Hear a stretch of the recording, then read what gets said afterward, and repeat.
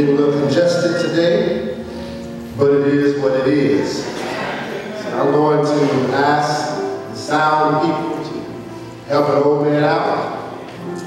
And I'll have y'all home today by 5 o'clock.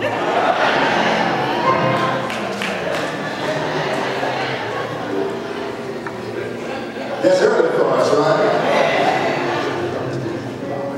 I want to invite your attention before invite our attention to the gospel according to Mark. We are continuing our series of sermons around the general theme, the difference Jesus makes.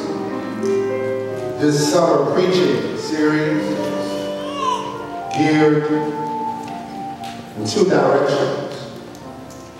One, it is to invite and encourage those who have been checking out this church thing and wonder for themselves if committing to the Spirit of Jesus will make a difference in their life. I want to say the answer is yes. And I've been arguing for the past seven weeks why. It's also targeted towards those who have already made the commitment to the Spirit of Jesus, but life has been such that it's just not what it used to be for you. Don't feel like you used to feel. I want to tell you to hang on in there. Because it does pay to serve Jesus.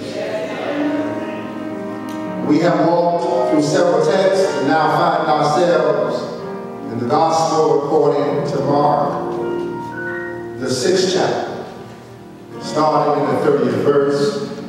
You shall have found it, say amen, and stand to your feet to honor the reading of this portion of Scripture.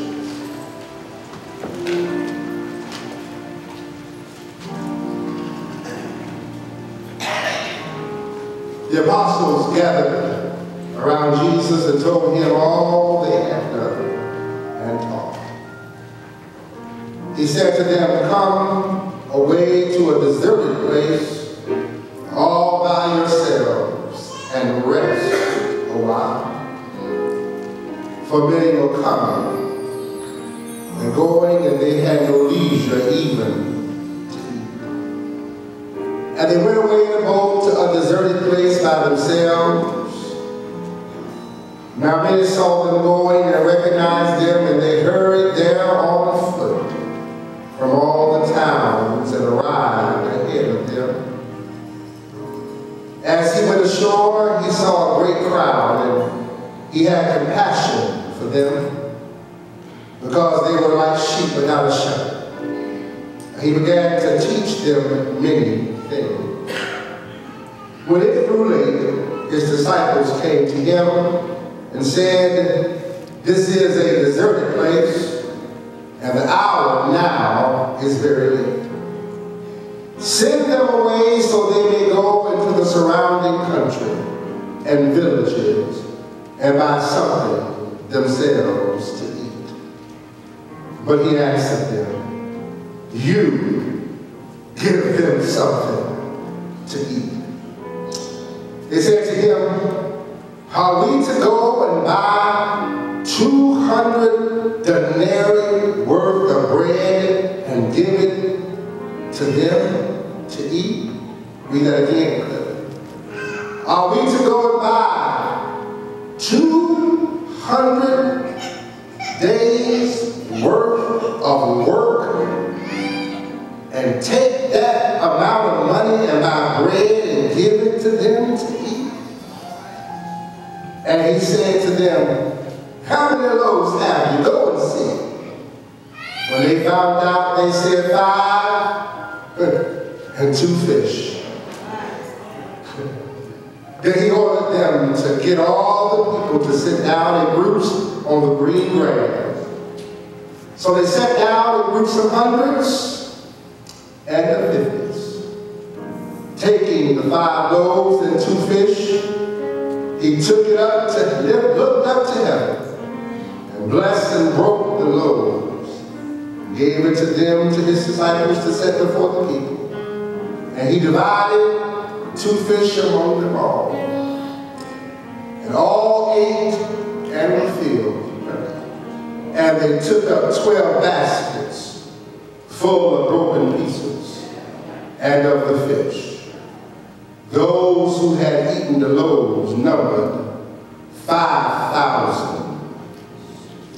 5,000 men. Amen. If I had to give this sermon a title, I would say, don't count God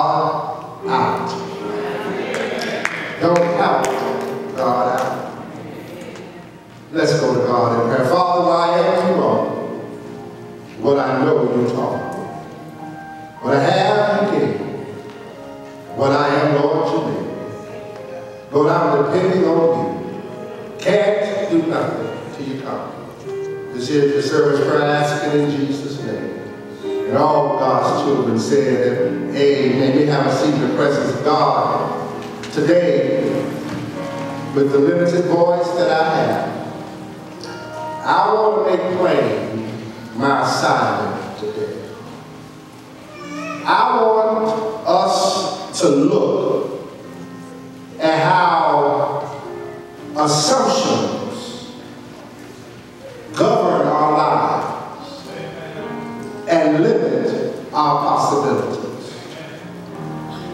want us to take a look at how what we think often determines what we get. This text is one that is familiar to most who have been in church for any period of time. It is one of the several texts that talk about the feeding of the multitudes. I want to focus my efforts today on that part of the text that talks about how he took the bread and the fish. And I don't want to get happy with y'all and preach from the subject, God will provide. I know we all know that. I want to look at this text from the lens of somebody that sees in it an assumption that must be confronted. The text begins by showing us that Jesus greets his disciples who came back from their first missionary activity. Jesus then invites them to go with him away to a quiet place to get some rest. But because of the effectiveness of their ministry and the ministry of Jesus, the crowds would not let them rest. Folk kept on coming. Folk who were sick looking for healing. Folk who were wounded looking for deliverance. And Jesus had compassion on them and cut short his retreat and began to take care of the people. Aren't you glad that Jesus would change his agenda just to take care of somebody?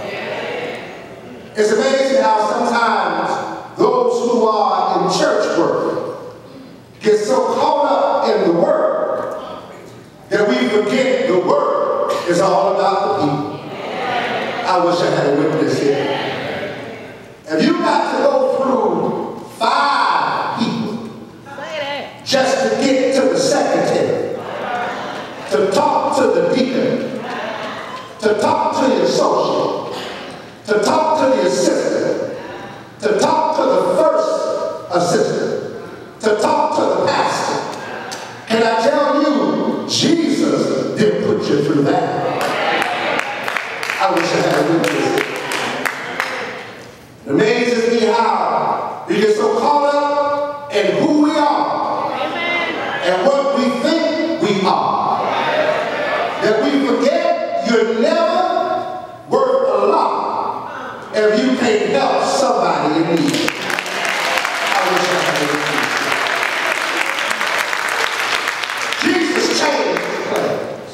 said, all right, y'all have a need, let me help y'all out.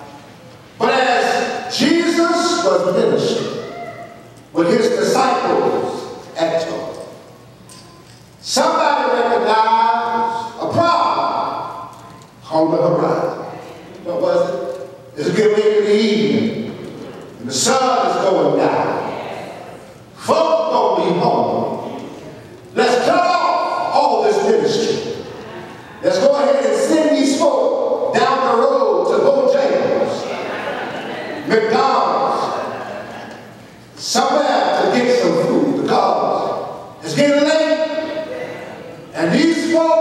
may turn if they get home and they have no food.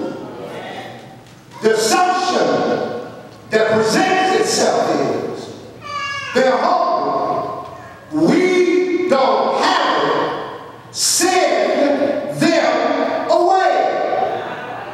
Jesus hears this assumption. And he dares to say to them, no, Y'all feel What you? He said, y'all feel Huh?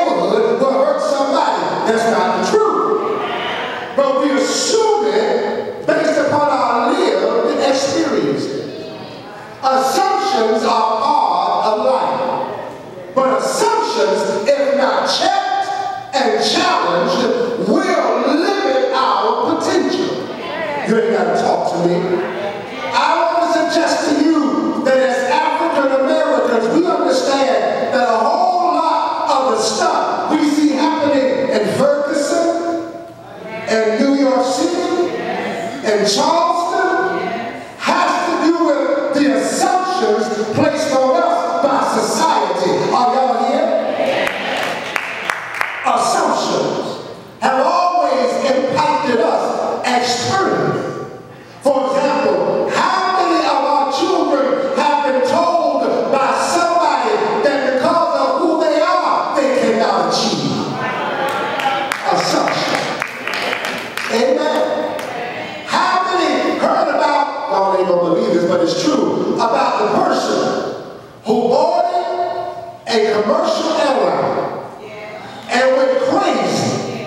and got off the plane because the pilot was a person of color. The assumption was that folks like us can't fly big old planes. Y'all better hear what I'm talking about.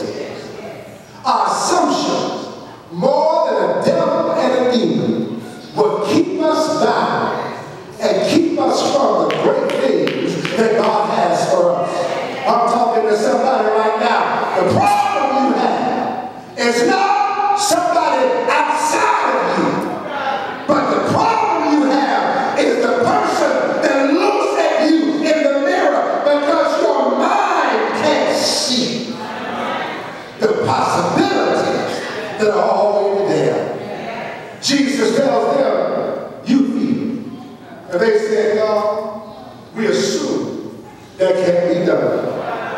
But can I tell you, when you put God in it, when you add God to the equation, can I tell you that when you have the Spirit of Jesus in your life, that Jesus challenges your assumptions?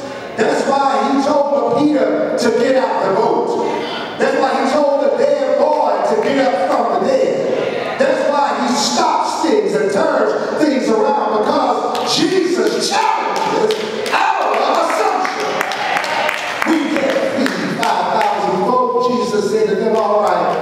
but you got. They found out we had two fish and five loaves. You know, some of y'all may want to be real smart and say, well, maybe it was two big old giant fish. and two, and two super long loaves of bread. No, two sardines and five nickel-sized rolls. That's all they. Jesus had bring it to me." And Jesus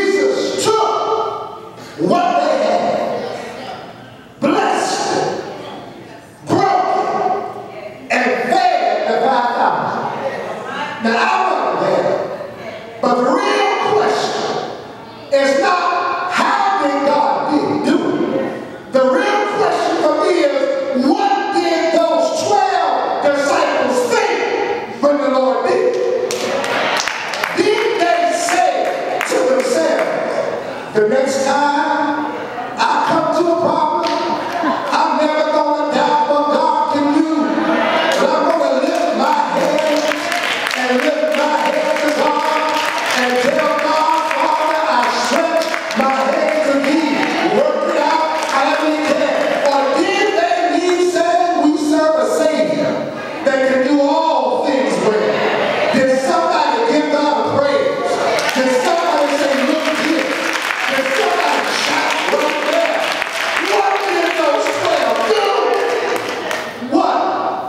Do you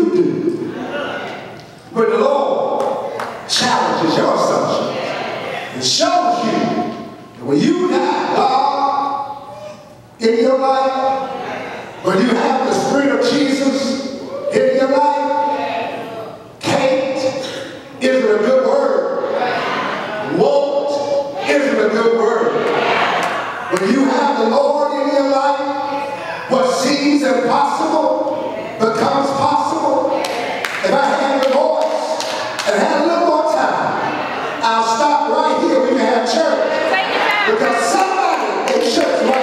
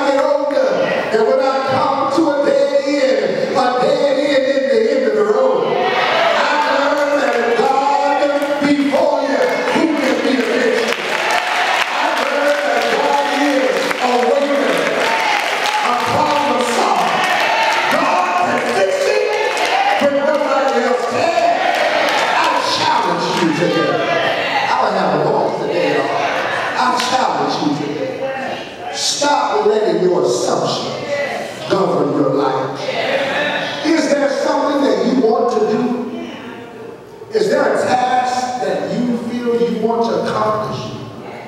Why are you stuck in the same rut that you've been in? When are you going to realize with the Spirit of Jesus in my life, my assumptions can be challenged? Somebody needs to step out on faith. And faith is the confrontation of our assumptions. Somebody here right now, there's so much that God has for you, but you can't seem to get it because your mind can't conceive it. I want to tell you, it's time to allow the Spirit of Jesus to challenge your assumptions. There's greatness in your future. There's possibility you never had. There is something great that's got your name on it. There is something wonderful that God has laid up just for you. Your future is bright. No matter how bitter your past has been and how painful yesterday was, your future looks better.